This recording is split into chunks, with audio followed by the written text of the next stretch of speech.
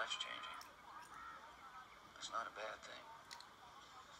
And you're in a perfect place for it. Surrounded by grace. I thought I was over him, but Big deal. Until you fell in love with someone.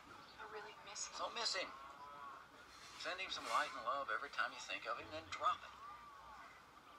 You know, if you could oh, clear all that space in your mind that you're using to obsess over this guy and your failed marriage, you'd have a vacuum with a doorway. And you know what the universe would do with that doorway?